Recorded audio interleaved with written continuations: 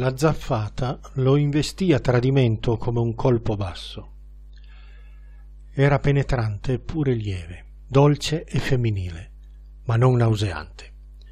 Un aroma che gli titillò la memoria spalancando usci che lui aveva serrato da molto, molto tempo.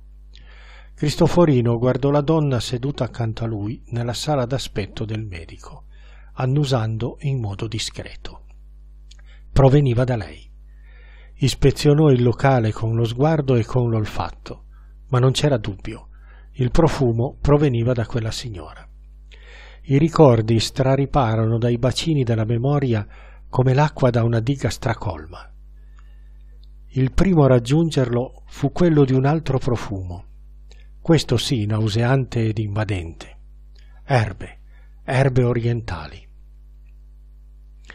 un negozio gestito da vietnamiti in Boulevard Saint-Germain, a due passi dalla pensioncina tenuta anch'essa da vietnamiti, dove loro due alloggiavano. Il volto dell'altra metà di quel loro due gli venne incontro e ingigantì, invadendo la mente. Appoggiò la rivista che stava sfogliando sul tavolino e se stesso allo schienale della seggiola. I ricordi, ora, lo stavano sopraffacendo e si sentiva barcollare nonostante fosse seduto. Profumi, odori, aromi. Il sole tiepido di un lontano settembre parigino. Lei. Insieme a lei fra l'aroma delle crepe e il profumo degli hot dog, l'odore dei bistrò. Com'era dolce il profumo della sua pelle, come lo amava, come lo inebriava, e com'era dolce il suo sguardo, caldo, avvolgente, come il suo modo di far l'amore. L'aveva amata di un amore totale, si era tuffato in questo sentimento lasciandosi travolgere. Attraverso di lei aveva amato tutto, il rumore dei metrò, la sporcizia del quartiere latino, la maestosità di Notre Dame, lo squallore dei clochard, la miseria dei quartieri più poveri. Quanti anni erano passati?